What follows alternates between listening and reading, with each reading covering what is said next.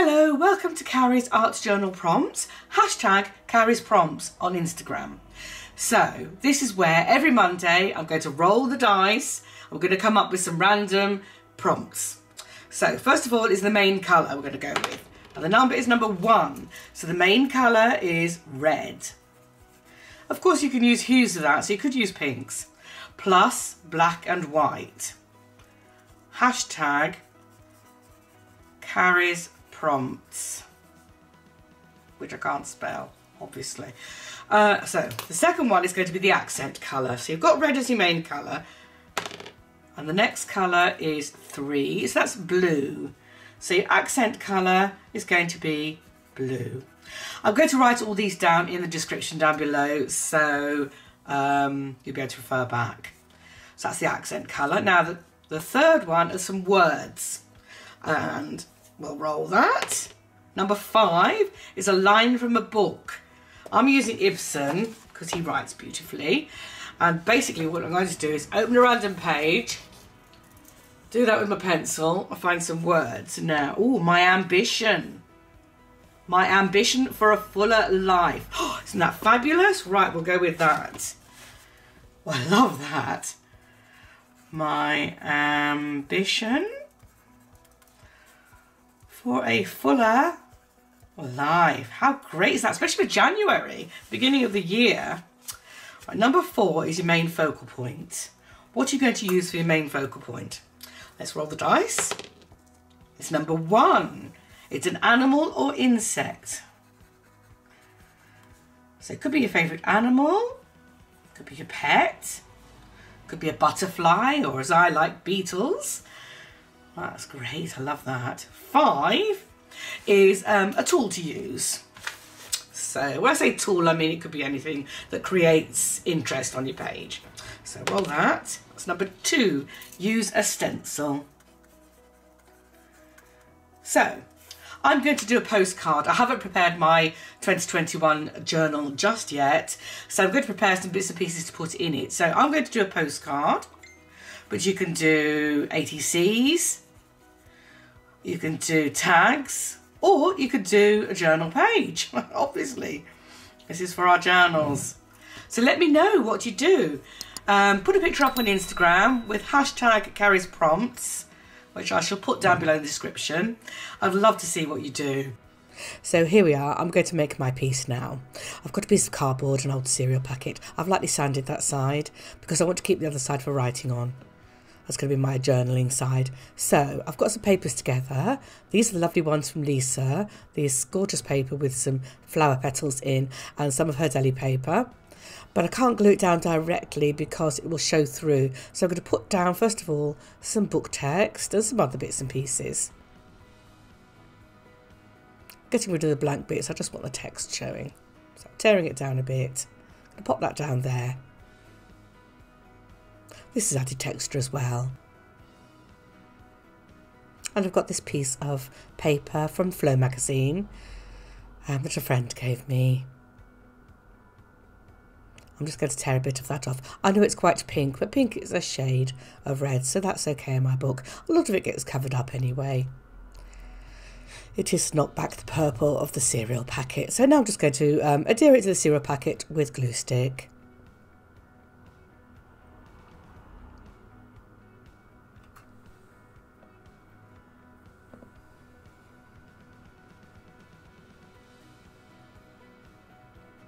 Just lining, lining the edges up. At the moment, my I want my postcard to be about 4 by 6 inches. At the moment I'm making larger than I need. Anything that I cut off later I can reuse as tags and little tags and things like that. So I'm going to pop that down there. This magazine is a gardening catalogue from last year and I use it as my glue book.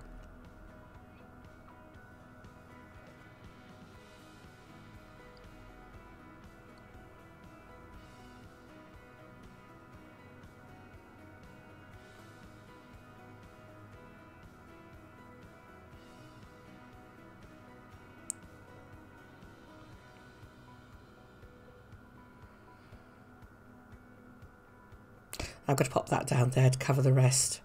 And that will be my, will be my blue accent. At the moment it looks like a lot of blue, but once I've finished there will only be a little bit of blue showing. And it's actually um, a ghost print from Gelli Plate Printing.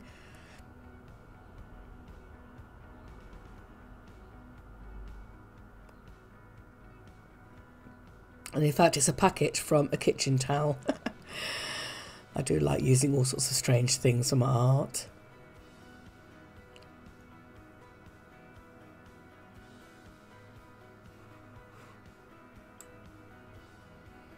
So that fills that space nicely. I'm really pleased with that. And now I can lay the actual colours that I want to lay down on top now.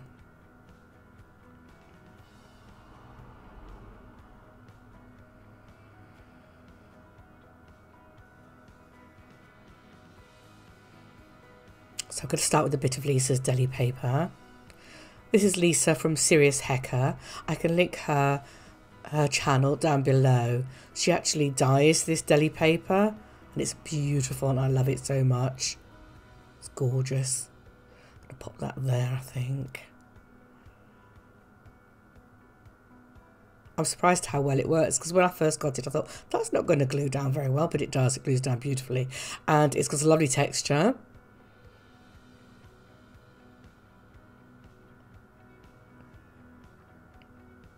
and I like its translucency, which you can see here, which is why I had to put paper down, because I didn't want the cereal packet to be showing through. I wanted something else. So I'm going to pop that up there.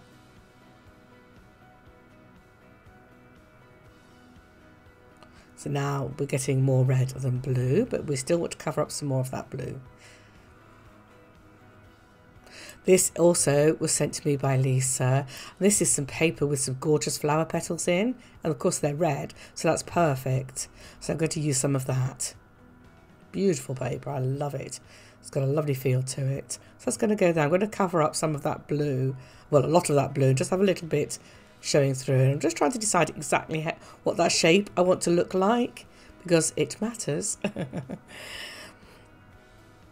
I think something like that is what I'm going to go for.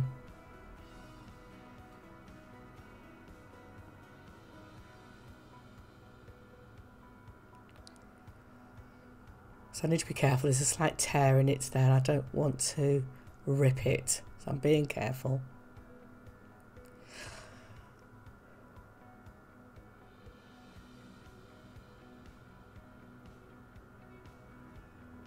There.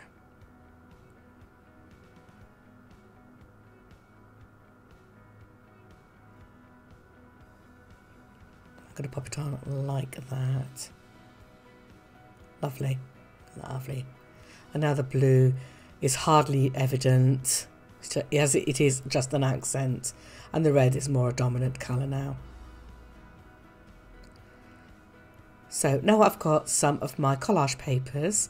Um, I'll link down below, if you've not seen me do how, how I do my collage papers, I'll link down below to show you and I do these in advance. I do them when I can't really think what to do, but they're so handy because it means I've got some ready painted papers that have already been sewn. I need some scissors to tear through, to cut through the sewing. Yes, so they're, they're just ready to go and it's just so convenient. And also they're quite pretty. So I'm going to add that to it. It's got some lovely red on there. It's actually more magenta, but that's okay. I'm going to have it not there. I'm going to have it a bit further. That's it, in the middle like that. Lovely. So I'm just going to tear off a little bit there that I don't want. Like that. That's it. That's great. So I'm going to glue that down. Yes, I can recommend making some collage papers. You know, you, when you get those moments when you think, I want to do some art, but I don't know what I want to do. I do collage papers in those moments. Oh, and I also make tags in those moments. Let me know what you do in those moments. Give me some ideas. I find it kind of soothing and restful to do those. Now you can see the blue really is a tiny little accent.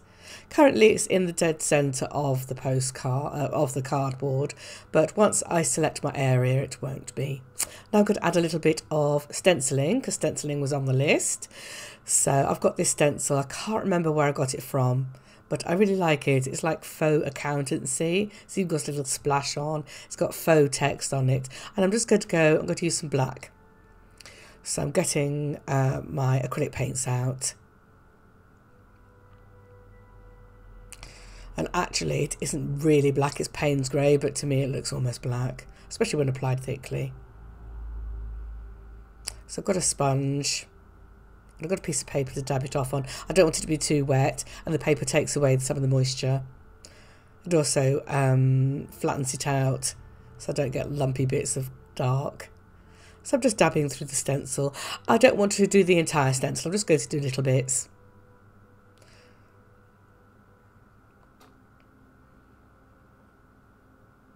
Having a difficult time getting it to go through, look. I like the splashy bit at the bottom there, I've got a bit more paint on there now add a bit more. Yes, you don't want too much paint and you don't want too little. Getting the balance right is difficult, isn't it?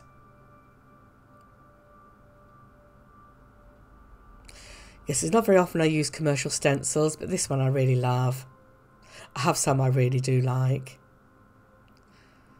Right, let's see what that looks like now. Oh, that's good. That's better than I thought it was. I'm going to do a little bit up here as well.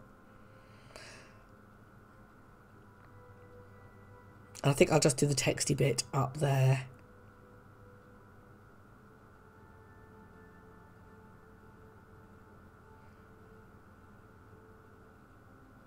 That's great.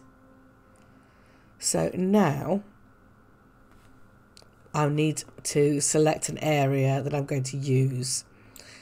Uh, I'm going to put this put the paints away.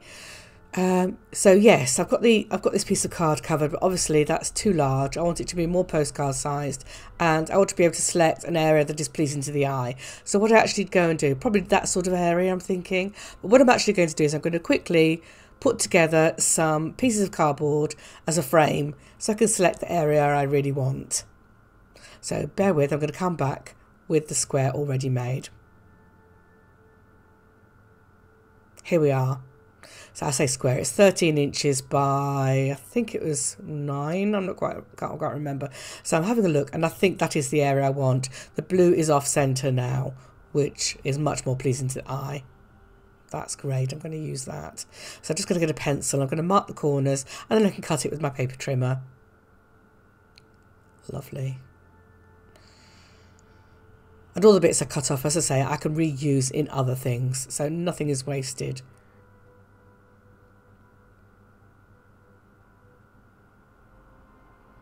I use the paper cutter because I'm terrible at cutting straight lines.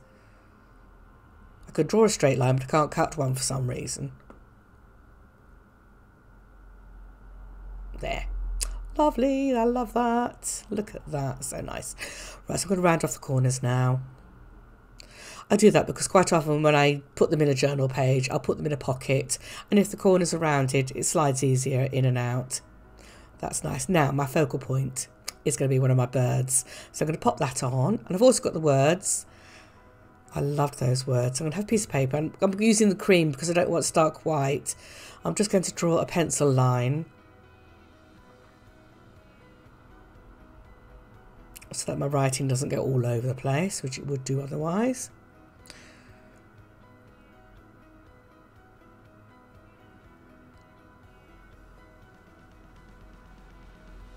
My ambition for a fuller life.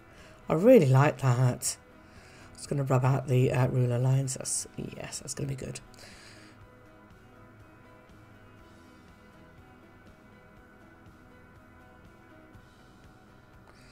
Being careful over the inked bit in case there's any wet ink. Luckily it's okay. Right, just need to cut that out and glue that down now.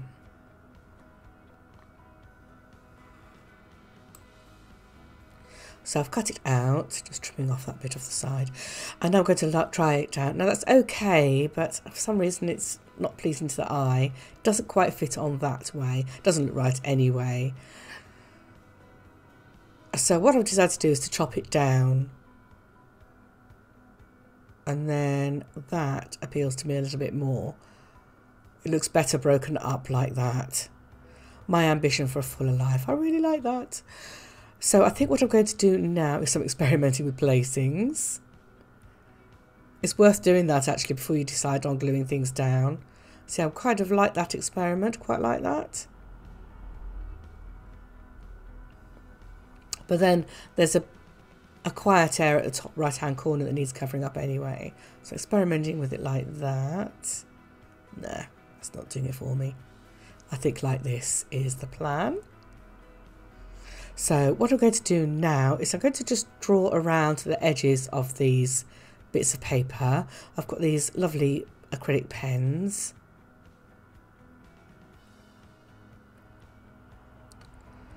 I'm just going to draw some blue around the edge using my accent colour blue which stands out well against the, the red.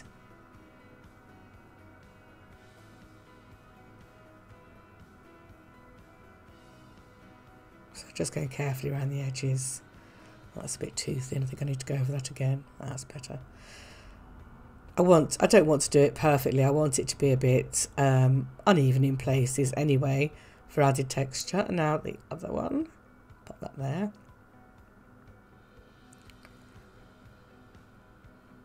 Oops, hardly anything there. Let's try that again. That's better.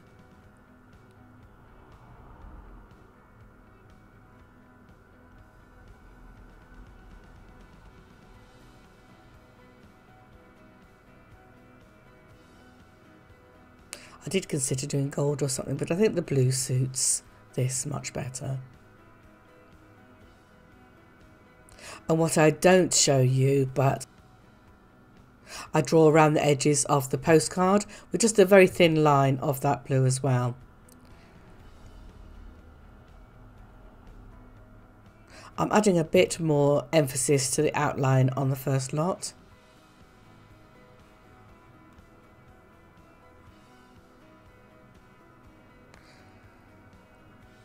And I can glue them down. Let me know down below if you like the idea of the weekly prompts. I would like to know if you have any comments or criticisms. I can take it, don't worry. Um, it'd be interesting to know what you think, and if need be, I can make changes. So far, I think it's quite good fun. it might get more difficult in time, though, with some of the rolls of the dice. rolls of the dice might not be so um, beneficial. I mean, we got those words perfectly this time. So that's those. Now I'm going to put the bird down. I was going to glue it the entire thing down, but then I had a change of heart. I decided what I was going to do was, I bet you can't guess.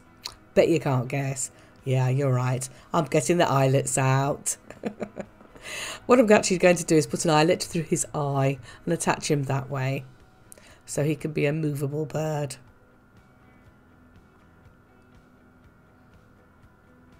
There, that'd be nice. Bodge a hole.